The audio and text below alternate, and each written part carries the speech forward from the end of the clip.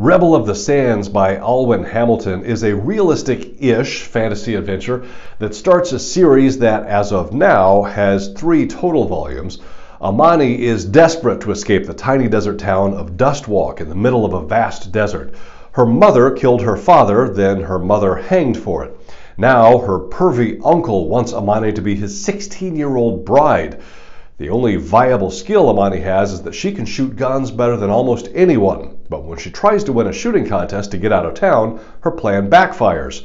Instead of skipping town and escaping her uncle's bed, Amani gets entangled with a strange criminal who is being hunted by the law. And that's before the explosions happen or the army arrives.